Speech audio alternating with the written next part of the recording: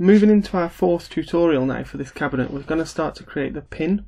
So these pins can be replicated in the assembly as many times as you want for putting the shelves in. So they're just going to stick out of the hole slightly with a flat top so the shelf will fit on nice and straight. Um, we're going to start using the sketch tool and then the first thing it asks you to do is tell you where the sketch is going. So we're going to click on this side to start with. Everything in that's fine. You'll see that the top here now has changed to your sketch options and we want to start with a circle.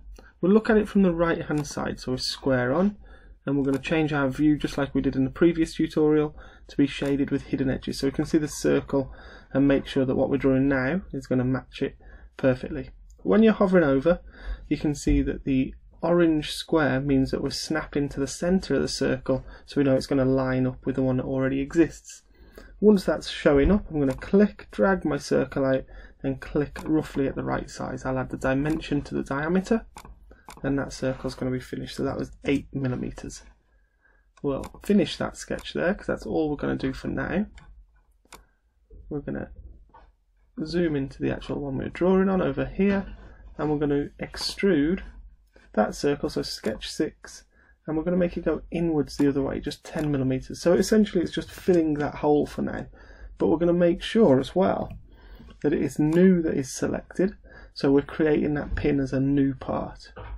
Okay, so keep that relatively simple at first, and it's just a cylinder, making sure it's a different colour so we know it's a new part, and the cylinder's just filling that hole. The next sketch that we're going to do is on the top of that cylinder, so we select the face, click sketch, and again, look at it from the right hand side so it's a bit easier for us, knowing we're working on that bottom left drawing at the moment. We're then going to create a slightly more complex sketch, so we're going to draw the circle out first, add the dimension to make it 8 millimeters and then we're going to add some lines about this. So we're going to go from the left up diagonally, we're going to go horizontally right and then down to connect back to the circle down here. We can then add dimensions to make this look exactly how we actually want it to be in the end. So this part here we will make 15 millimeters flat and then we can change the angle that these meet to be 45 degrees on both sides and we'll just see where that leaves us to start with. So once we're done there we can see that that's not looking exactly how we planned so let's make this a little bit wider to make it easier. Okay, so 20 mil across the top, 45 at either side, and they look fairly even coming out of the pin here. I think that will do for now, so we can finish the sketch. We're then going to extrude. If we look at it in 3D, it's going to make it a little bit easier for us to understand. Move that about your screen, and zoom in. We're then going to extrude the whole of that sketch out, but also the circle that we drew as well. So it's bringing the whole of that to create this flat section for our shelf to fit on, and we'll just bring that out 15 millimeters and finish that with a tick. You can see, and you've probably noticed, that the cylinder and this part were different colours. So that means it's created it as a new part. If we go back into the extrude, we don't want that, so we want to edit, and we want it to be added. That will ask you for merge scope now, and all that means is which part do you want to add it with or merge it with.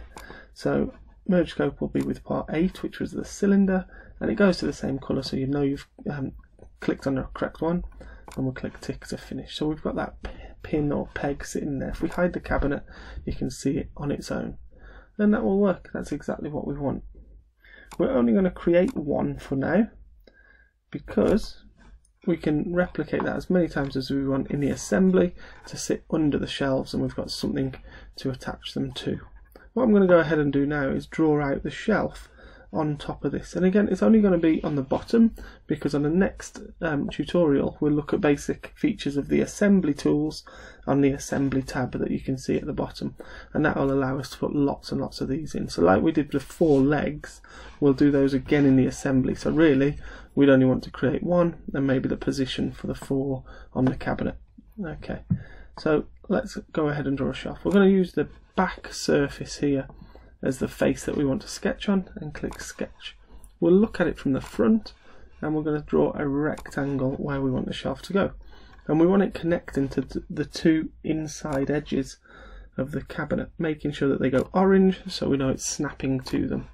We'll dimension the thickness to be 15 so it's consistent across the whole cabinet and then we're going to dimension the distance from the base to here so that it will line up so if we try 65 we're just below so in fact I'm going to delete that dimension by left clicking on it and pressing delete on my keyboard and I'm going to measure this bottom surface to the top of the peg that we've put in and make that zero.